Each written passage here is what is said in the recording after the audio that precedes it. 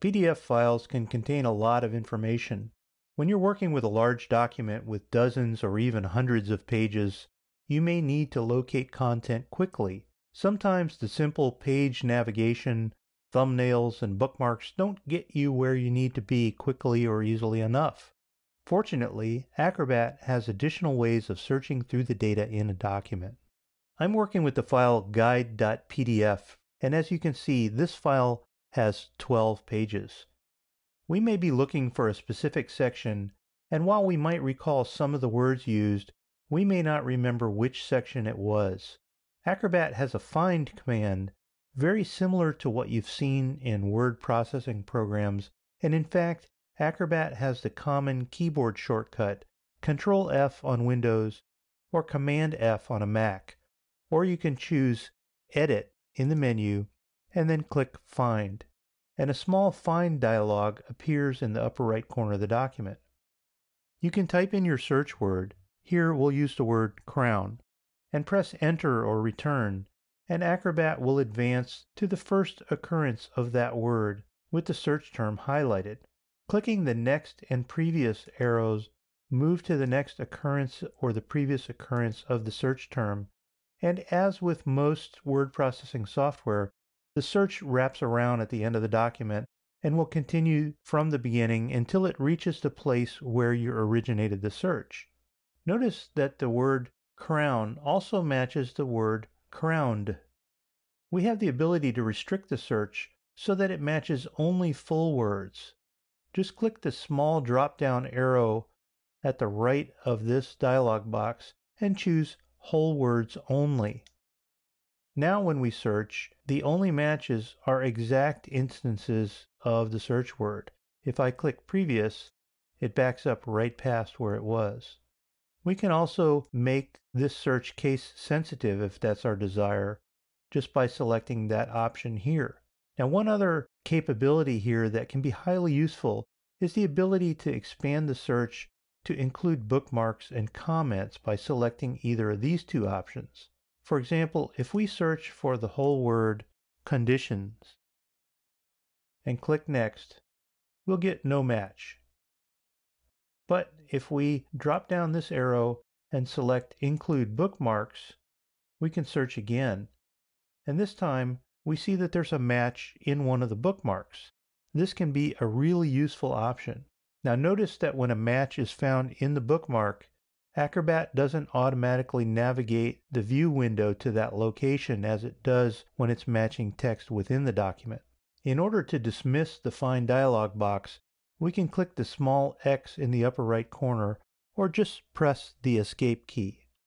While the Find command is useful and quick, there's an even more powerful way to search in Acrobat documents. We'll dismiss this panel and we'll take a look at the Advanced Search command, which is accessible from the Edit menu by choosing Advanced Search or with Control Shift F on Windows or Command Shift F on Mac. And in fact, you can get to it right from the basic find simply by clicking this down arrow and then choosing Open Full Acrobat Search. As soon as you open Advanced Search, the search window appears at the left side of your screen, and the current document may shift to the right to accommodate the new window.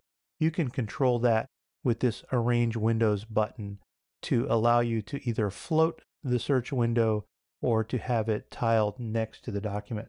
Now, the first thing we see in the search window is that we can search not only the current document, but all PDF documents in a given folder. Now, this can be tremendously helpful if you have a lot of documents and need to locate one quickly based on its content. We can click the drop down list and we can select any one of the folders that are listed here, or we can browse for a location. In fact, once we've browsed for locations, Acrobat will store the most recent locations here within the drop down list. In this case, I've got a recent location which is Chapter 2 in the Working Files folder, and we'll click that to search all of the files within Chapter 2.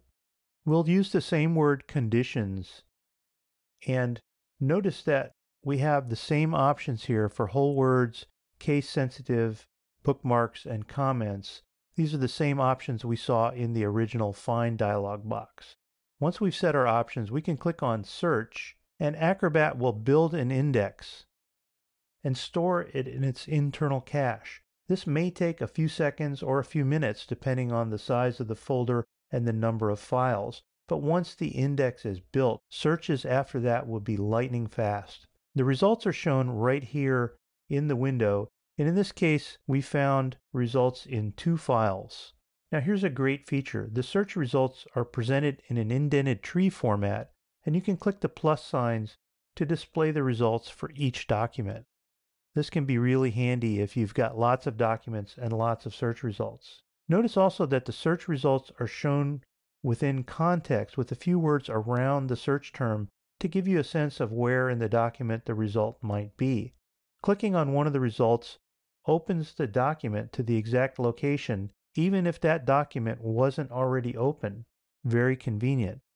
In this case, we've actually opened A Tale of Two Cities, which is located within the working files in the Chapter 2 folder. Notice the options to sort the results by relevance, date modified, file name, and so forth. And if you're having trouble seeing the name of the file, notice that you can check or uncheck this option to collapse the path and see the file name more easily. If we go back to New Search, we can click on More Options here at the bottom, and we can see not only more criteria, but we find options related to multi-word search. We can match the exact phrase, or we can match any or all of the words. Notice that the search defaulted back to the current document, and if we change it to search a folder again, we have even more criteria available. Now we can search even the document's metadata, such as the date created, the author, the title, and keywords within the document.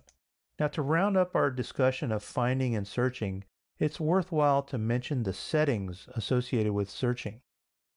So if we go back to Acrobat and choose Edit Preferences, we can navigate down to the Search category. Here you'll see a few settings you might be interested in, including the maximum number of results to return, which will prevent Acrobat from running away with large folders of PDF files.